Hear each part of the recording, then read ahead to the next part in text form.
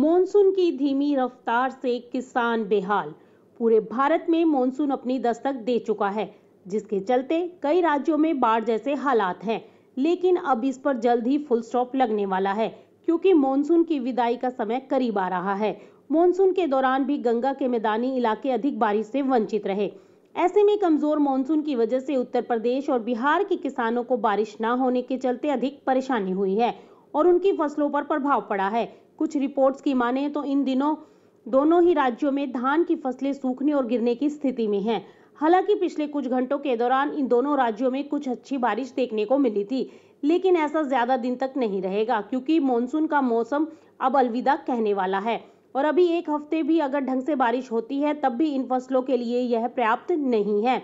वहीं रिपोर्ट्स की माने तो उत्तर प्रदेश और बिहार में सितंबर के पहले हफ़्ते के दौरान कुछ जगहों पर हल्की बारिश होती रहेगी और इसी तरह यहाँ लंबे समय तक वर्षा जारी रहने की भी संभावना है। Bureau report, Market Times TV.